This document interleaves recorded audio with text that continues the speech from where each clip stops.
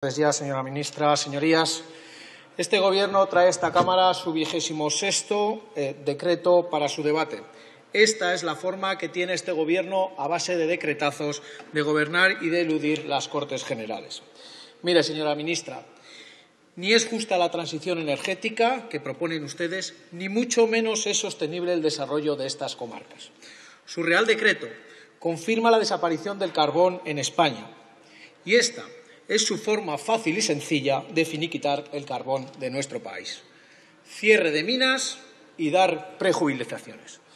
Ese es el verdadero plan de reindustrialización que trae usted para nuestras comarcas.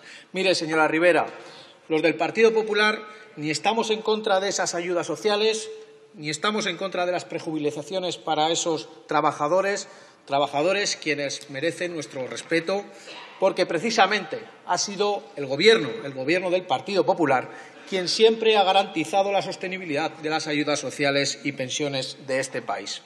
Señorías, este decreto es la estrategia perfecta de la señora ministra para cargarse las centrales térmicas y lo hace únicamente por la incapacidad y la demagogia política que usted defiende sobre una política energética que va en contra de los intereses económicos y competitivos de nuestras empresas.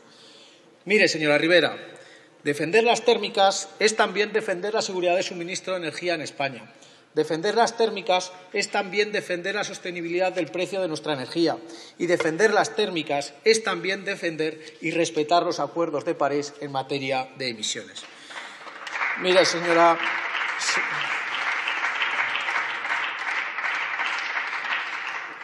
Señora ministra, usted su único propósito es cargarse todo lo que viene relacionado con el carbón. Si no, ¿cómo se explica que usted elimine el céntimo verde al gas y no lo haga al carbón? Señora ministra, díganle a sus señorías, ¿es que las moléculas de CO2 que se emiten a la atmósfera del carbón y del gas son diferentes? El problema es que la demonización sobre una tecnología nos lleva a un problema muy serio para nuestra economía. Miren, señorías, primero se cargan la oferta del carbón, cerrando las minas. Segundo, traen aquí este decreto para indemnizar a los mineros. Como no hay carbón competitivo, tienen que cerrar eh, quien demanda ese carbón, las centrales térmicas. Cuando cierran las centrales térmicas, tienen, tendrán que indemnizar a sus trabajadores. Y al no haber térmicas, y tal y como afirma la OMIE y también en las conclusiones de esa comisión de expertos, el precio de la electricidad sube un 15%. ¿Y la consecuencia? Pues ya todos casi la sabemos. La eliminación de toda la industria electrointensiva de España.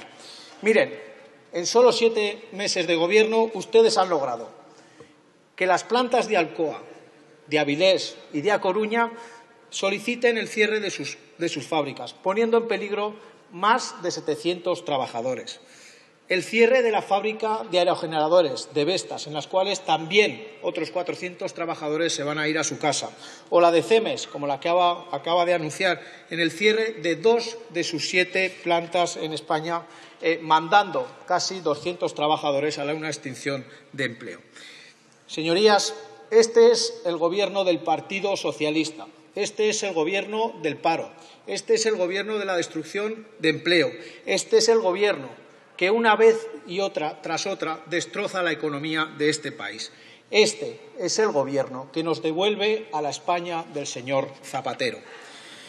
Me cuesta pensar, señora ministra, cómo usted va a ser posible que mañana se presente en Andorra, en mi comarca, y que cuando es usted, cuando es usted quien con sus nefastas decisiones pone punto y final a una comarca y pone en peligro y hiere de, muerte a toda una provincia.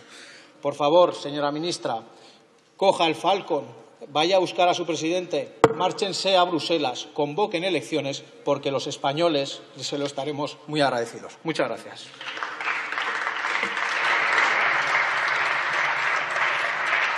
Muchas gracias. Pasamos ahora